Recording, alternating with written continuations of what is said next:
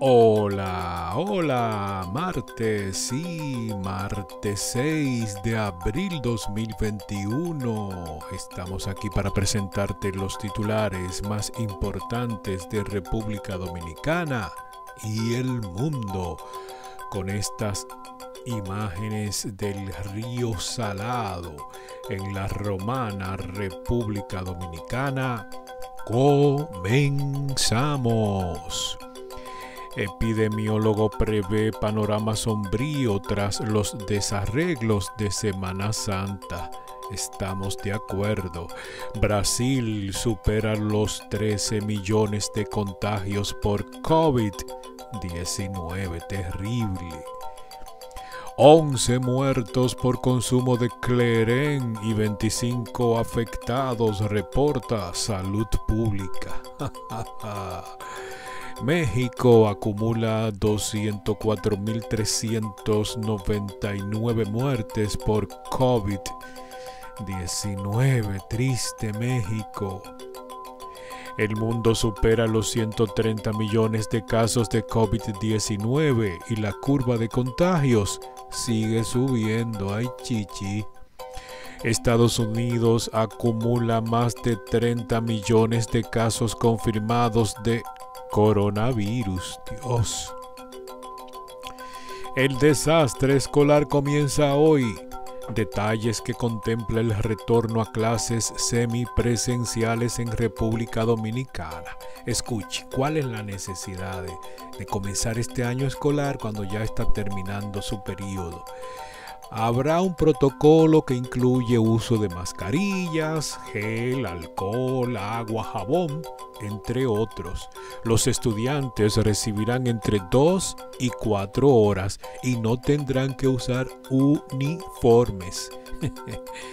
Ay caramba, República Dominicana lo tiene todo. Será un fracaso, lo pronostico yo más de 2.847.000 muertos por COVID-19 en todo el mundo.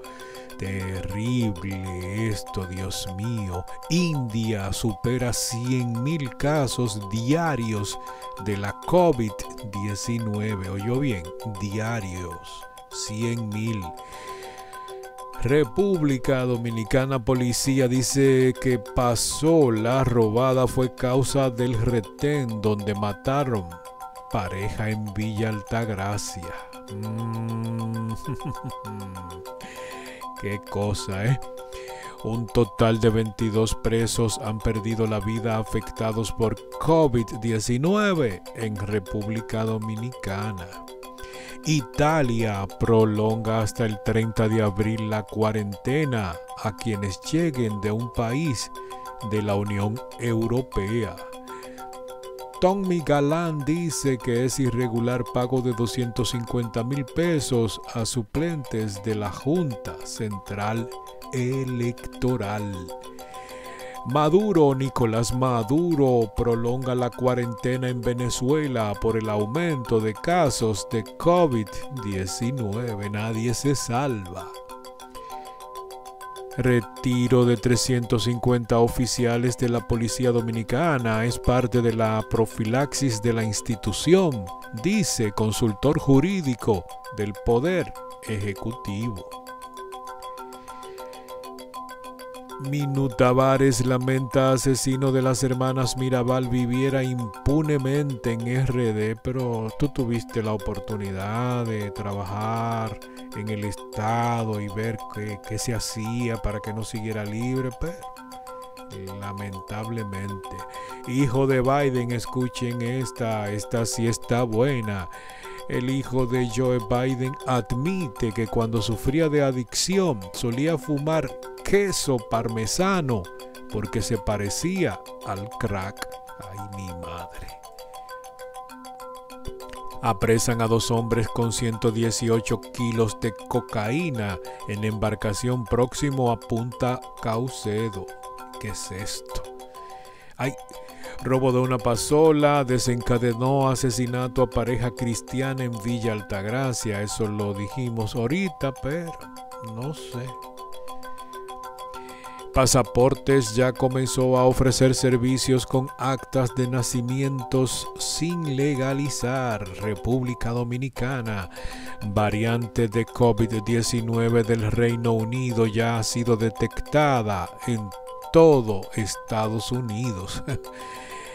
Oigan, una de farándula, ex esposa de José José, Anel Noreña, es la heredera universal. Escuchen, en la lectura del testamento de José José, la actriz es legalmente la beneficiaria de todos sus bienes. Tin, tin, tin, tin, tin, tin. Un carro blanco, la única descripción dada a policía que dispararon a esposos. Este es un caso terrible. Parlamento venezolano suspende sesiones por la COVID-19. Maestros califican de apresurado el retorno a las aulas. Estamos de acuerdo, maestros. Y finalmente, ay, López Obrador dice que no se aplicará vacuna contra el COVID-19. El presidente dijo que tiene suficiente anticuerpo luego de que previamente se infectó de COVID-19. Gracias señores por estar ahí. Buenas tardes, buenas noches, buenos días. Sí, este río se llama Río Salado. Está en la Romana, República Dominicana. De este lado, su hermano y amigo Joe Díaz.